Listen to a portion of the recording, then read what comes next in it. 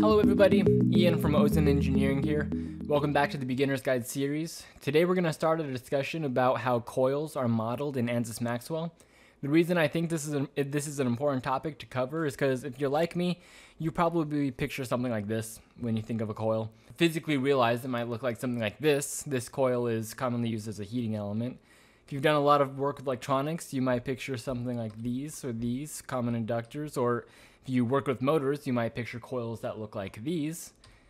There are a lot of different coils out there and different types of coils. But then you learn how to model these coils in a finite element environment, and you're shown something like this. And you're told that this is a coil, and that these are coils. And you want to try to learn how to model coils around a stator in your motor, and you're shown something like this. When I started learning Maxwell, I saw these simplified objects and I wasn't completely convinced that they would accurately model the more complex objects. Luckily, at the time I was in a lab where I could just test this out. So I cut a little form out of PVC and started wrapping some wire around it and I made my own coil that I modeled in Maxwell. When I ran the simulation and I tested the coil by measuring the inductance with an Agilent LCR meter, the results agreed with impressive accuracy. That said, in retrospect, I probably stumbled into a certain amount of luck. It's not very common to have your simulation agree with your experimentation to this degree, but I then ran another experiment to measure the induced voltage on my coil caused by a changing current in a nearby coil, and it had great accuracy again. So at this point, I was feeling more comfortable with the cylinder as a representation for a coil, but I still want to know how these two objects compare with each other directly. More specifically, I'm going to simulate both of my coils in three different solvers. And with each different solver, I'm going to compare the directly whatever results that I'm targeting.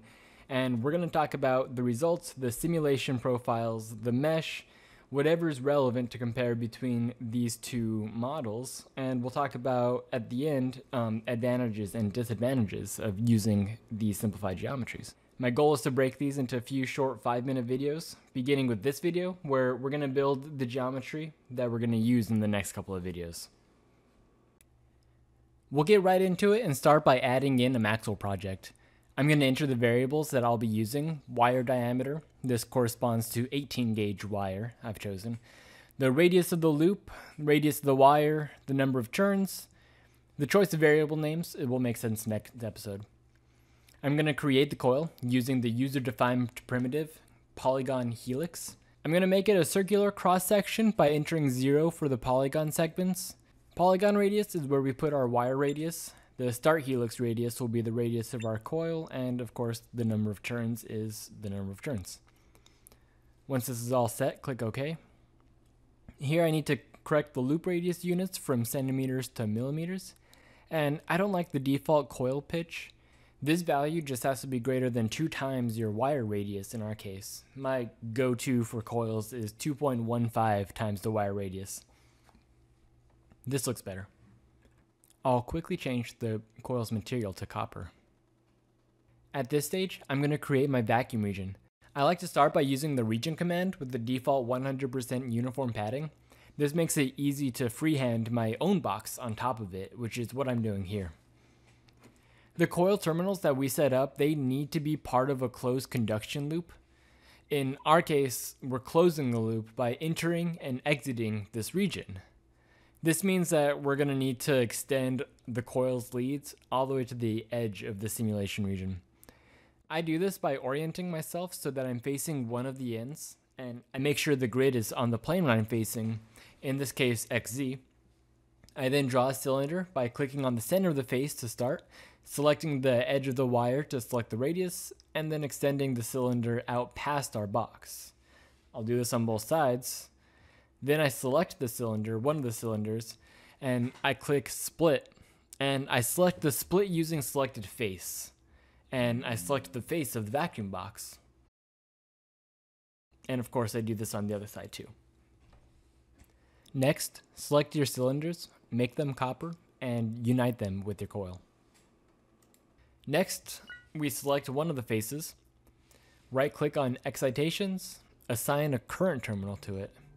Do the same on the other side, but make sure that the direction is pointing out of the terminal. You want the current going in one and out of the other. Last step is to create the winding. Right click on the excitations again and click add winding. We'll use a 1 amp current source here.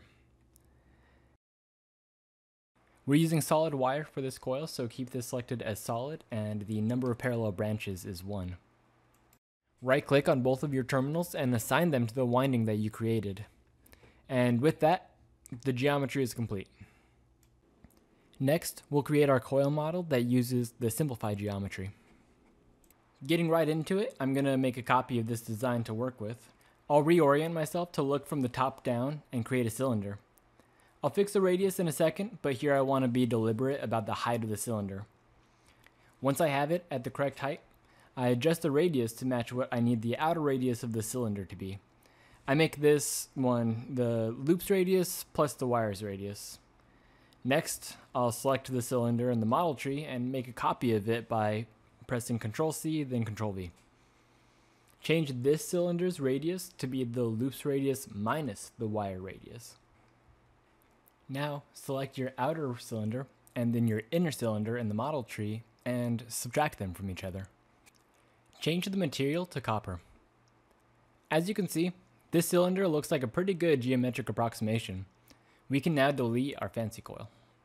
Like I mentioned before, these coil terminals must be part of a closed current loop. In our other model, it was easier for me to just extend the leads to the solution boundary rather than drawing additional geometry connecting them. But in this model, it's already a closed loop, so we just need to tap into it. To do this, select your coil, under Modeler, Surface, select Section, and choose the plane you want to use for the operation. I'll choose the XZ plane here. This will create a section everywhere the object crosses this plane, which here is in two places. Keep those sections selected and right click under Edit and Boolean. Use the uh, split body operation. We only need one of these, so select the one you don't like and delete it. The remaining section will be our new coil terminal. Make sure it's selected and then right click on the excitations and add a coil terminal to it. Right click the coil terminal and add it to your winding. Next, we need to open up the winding's properties and change this type to stranded. This will allow us to set the number of conductors in the coil terminal to our number of windings. With that complete, our simplified coil geometry is ready to go. In part 2, we're going to simulate and start comparing these coils. Until then, this has been Ian from Ozen Engineering. Thank you so much for watching.